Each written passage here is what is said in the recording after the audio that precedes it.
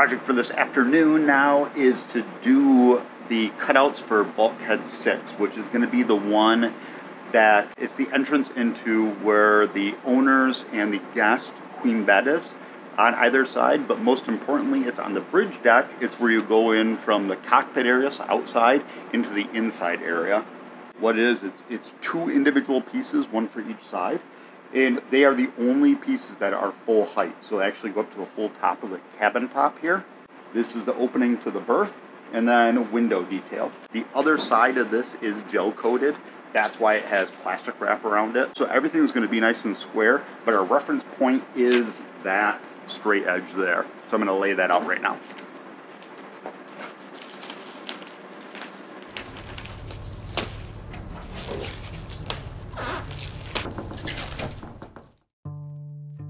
After eight years of the nomadic life, involving crossing oceans in a 34 foot Sabre, refitting an aluminum boat, and then taking that to the Arctic Circle, we're back at it again with a brand new build. This is Matt, and I'm Jessica. Make sure to hit the subscribe button and join us every week as we start our newest project of building a 42 foot catamaran from the ground up.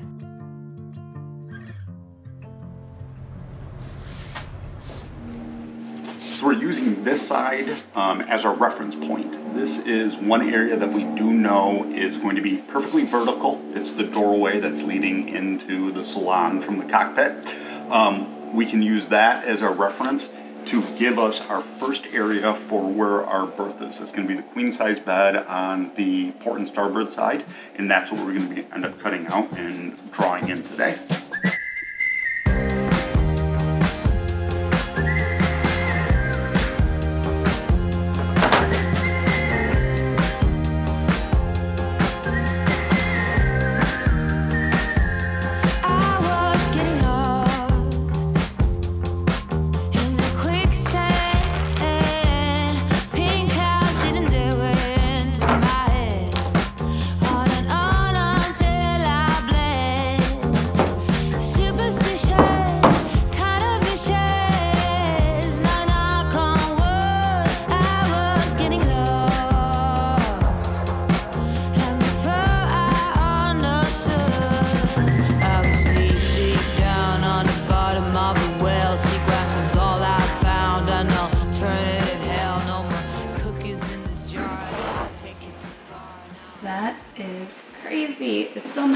Place yet. You can see like the big gap there, but you can definitely start to make out areas.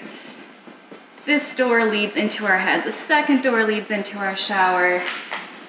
So here's the, the salon that's actually kind of making, coming into shape right now. Um, it's an L-shaped settee, so an L-shaped couch. And sitting, I'd be sitting on it right about here, right about here, here, and all the way out to about, about here, I think, is, is the shape of that. Right here is a nav desk facing forward. There's another kind of like storage area right here. This leads down into the hulls, out this area. Um, galley counter is linear, so it runs just four and a half on this side, and that is seven feet uh, long, so pushes it roughly out to about here. And then this is galley area. There's another countertop that's five feet long over on this side that breaks up in between one area that leads down into the hull back here, and another one forward here that leads down into the hull in this area. Just an amazing amount of space. And now for once we can kind of start getting a feel for how that's going to be laid out. Uh, but we will need to do some trimming because right now, actually on both of our sides, we're getting the issue where it's a little wide. Of course, easier to take a little off than to add some on. So right on the hull sides, Matt's going to have to go and trim to make it fit, and then it should start like falling down into place a little bit more, but yeah. that's, I think, all that today is going to be about, is just making all of those minute adjustments and getting this in its proper place.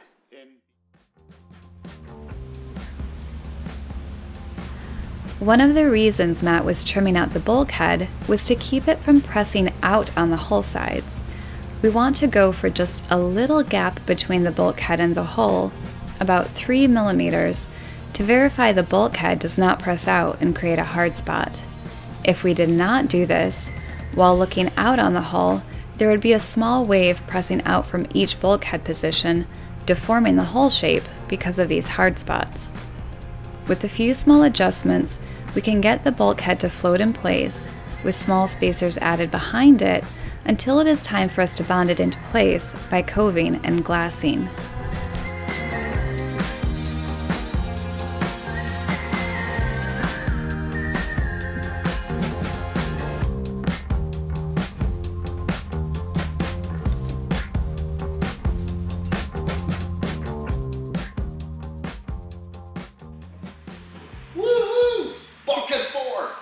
Today, history is being made on the catamaran, and we're putting in our first bulkhead that spans across both sides. So, Matt has his tools. We're going to get it leveled out, um, get some cleats in to hold the forward spot in place, and then I guess spend the rest of the day glassing on both sides.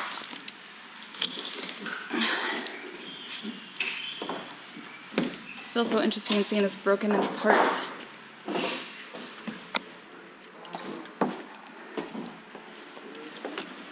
Our boat has sections.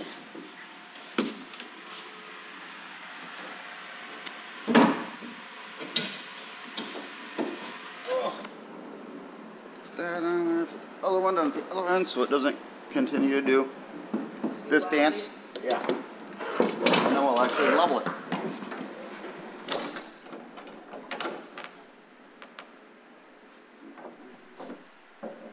Fun, fun, fun, fun.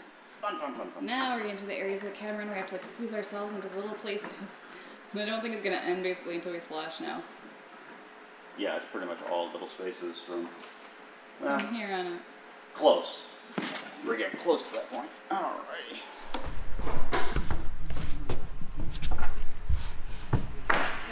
So as you can see, I have gone through and I've put little black lines where the forward edge of the bulkhead is supposed to be right around, and that's the center of this group of unidirectional. And we've got cleats holding the bulkhead in place right now. So of course, Matt is just kind of getting it sturdy. We will level out the top here.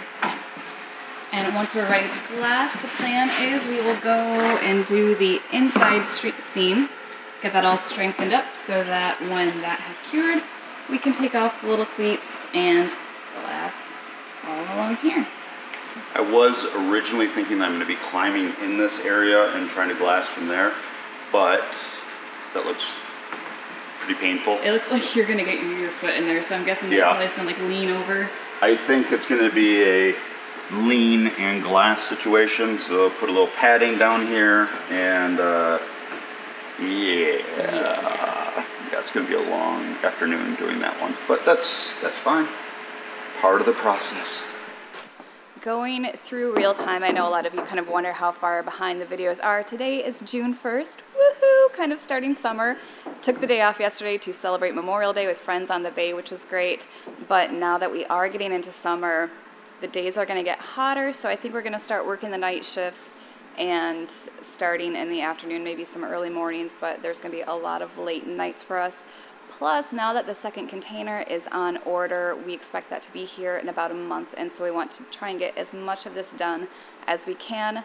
Um, we spent a lot of May with me doing editing and just kind of like planning, but June is going to be the month to keep our heads down and work. So, I'm going to be spending lots of hours in here, lots of late nights in here, and hopefully soon all of these bulkheads will be in. I'm Going to get the webbing in, and then when container two comes, it's going to start looking like a real catamaran. So it's pretty close as it is right now, mm-hmm. but you're just gonna push and pull it to the final. You get what I'm saying?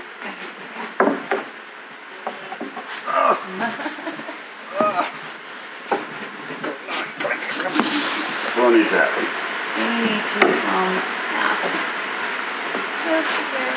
Is that good now? That's good. That is very level. Okay, cool. So we got that. That is looking pretty level. Just pretty level? It's looking gorgeously level. Yeah, it needs to be perfect. Would you like perfectly level. Would you like to see it? I would. Okay. Damn, that's good. Mm-hmm. Okay.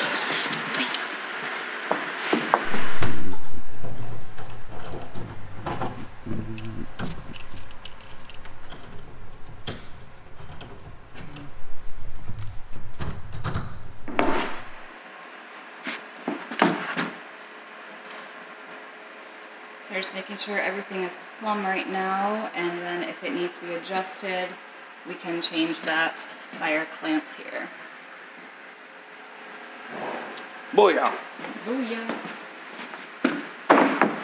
We have gotten bulkhead four all leveled out now, so it's plumb, um, both from port to starboard. We've put a few cleats in to like make little tweaks, and again keep it in place until we can at least get the forward edge coved and glassed and uh, cured to harden it all up.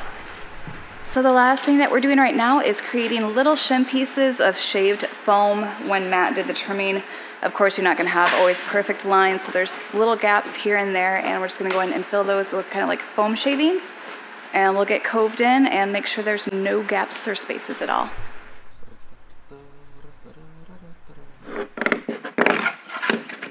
Okay, so that'll work there. So shave that down. a little bit.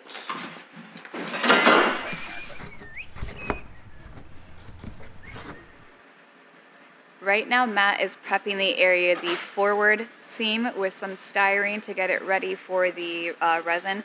So I'm gonna go through right now and make two batches of thickened resin using mostly silica. Um, and I'm not going to add the peroxide yet, so that will hold off on kind of starting the timer of when we need to apply it because it'll start curing. So I'm just gonna make or do two batches of 16 ounces. I'll measure out the 16 ounces of resin in here pour it into a paper cup and then I can add the thickener to it and once we're ready to apply I'll probably add 2% peroxide because this we do want to start curing faster um, yeah it's kind of cool that you don't need to add the peroxide until like the last second and it will still stay 16 ounces even with the thickener in there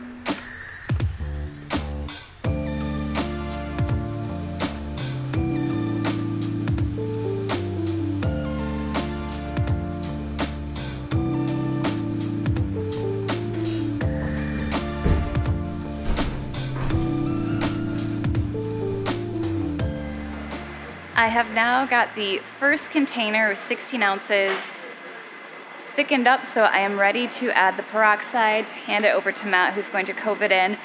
And as I said, uh, with the warmer temperatures, if we needed a longer working time, we'd probably go with about 1.5%.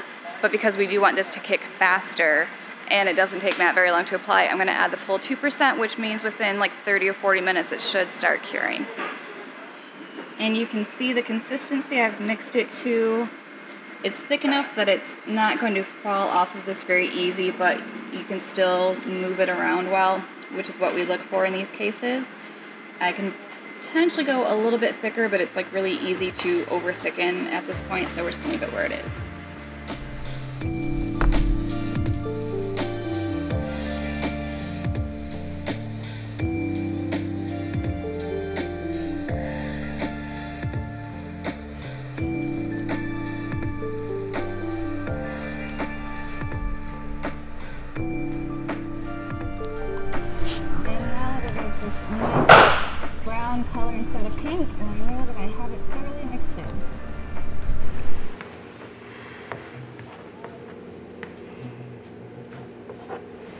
In other instances of applying the thickened resin to get the cove at corners of our bulkheads, we have tried a few times using the uh, pastry bags, cutting a hole out and just kind of squirting it in there.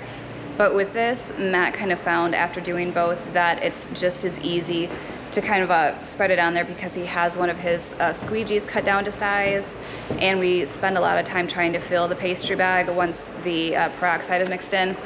So it's really just easier overall to take it right out of the tub, kind of apply extra thick and then use the squeegee just to um, get it to the right shape that we need for the cove.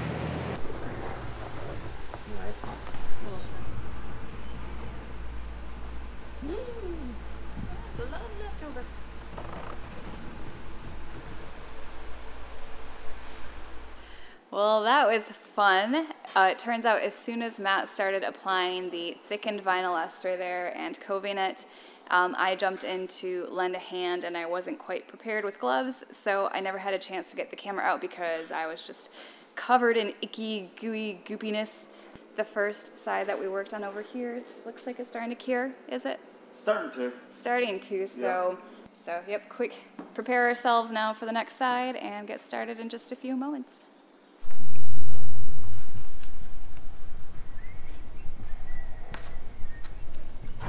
I got my box of gloves ready. Alrighty, this is looking like it's gonna be easier.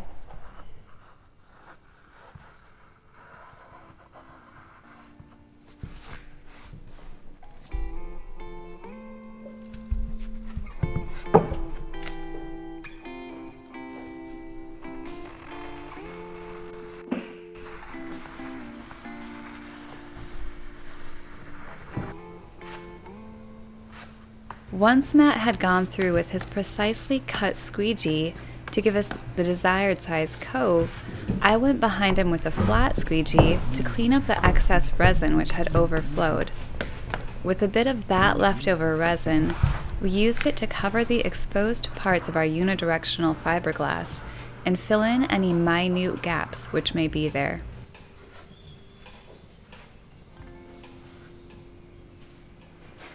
All right, stage one is successfully completed, and because we're getting into evening now, again, we're having that where the temperature is starting to go down, and we're not in quite the rush we were before because it's not taking quite as long. Plus, we also reduced the amount of peroxide to give ourselves more work time. You can see we have a nice cove going there along the seam, and Matt has also gone through and kind of like filled the little screw holes from the cleats that were holding us in place and also just generally covered the unidirectional to um, smooth out any porous spots in there.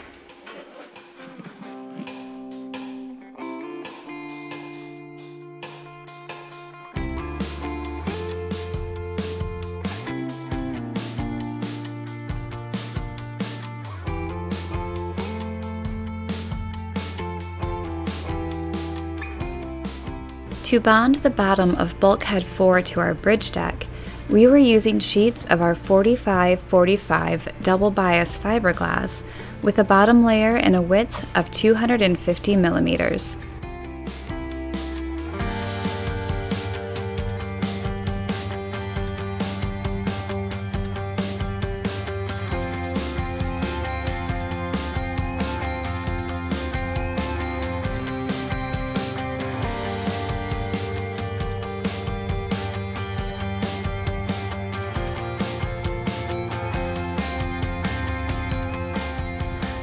Chamfered panel, it was easier for us to do separate pieces of fiberglass rather than try to get a single piece to follow the corner. On the port hull, this bulkhead only acts as a support over the guest bunk, so it does not reach all the way down into the hull. You can see, though, through the fairing compound we've applied, that it has already been reinforced on both sides with three extra layers of fiberglass in a combination of 090 and 45-45 double biased. For more information on that video, make sure to watch episode 185, linked in the description box below.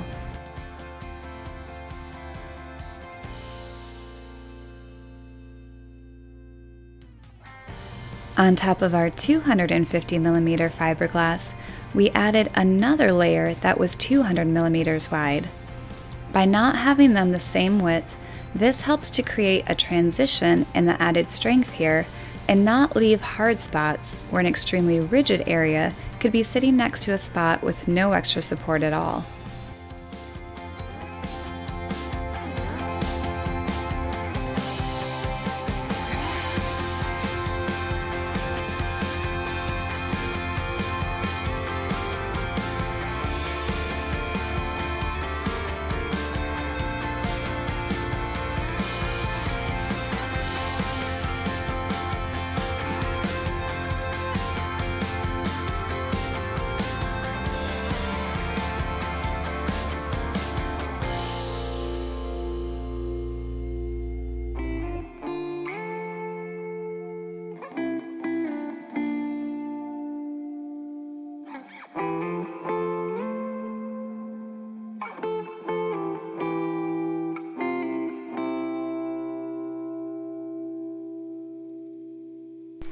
We are getting close to finishing the aft side here and it's going much, much smoother than the forward edge. I think part of it is just accessibility, you know, like you're not trying to lean over something and get the best angle to work at it, but um, preparation is key as well because on that first side, we totally forgot that we needed peel ply in a few areas, so I'm down there trying to cut that. Matt's up here, we're running out of resin, and so this time we just made sure that we were fully prepared for everything before we started, and it's going much better. Uh, as you can see, I've got a couple peel plies cut to size over there already. Matt's getting some resin on the second layer of fiberglass, and I think it's been rolling on pretty well. Oh yeah. It's getting a little cooler, getting a little bit longer of work time. Matt's just more comfortable in general. And yeah. One of the questions now is this four ounces of resin gonna last us? Yep. Okay, good. You've got some in your tray still? Mm, very little, but we'll make it work. We will make it work.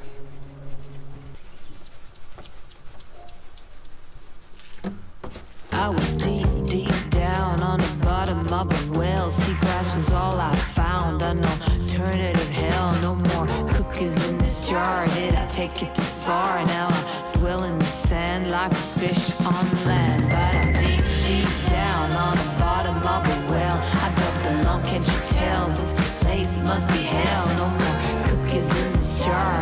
Did I take it too far? Now I dwell in the sand like a fish on land.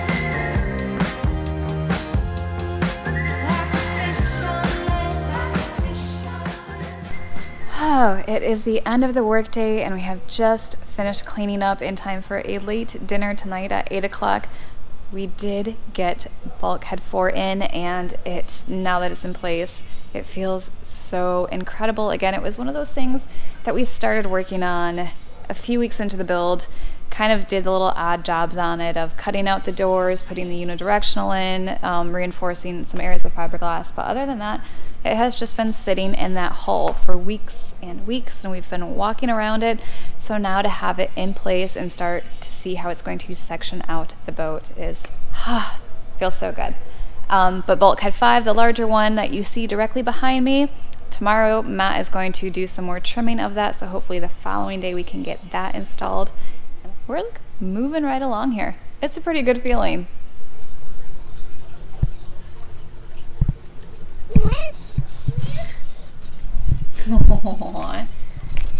Such a good girl, Georgie cat.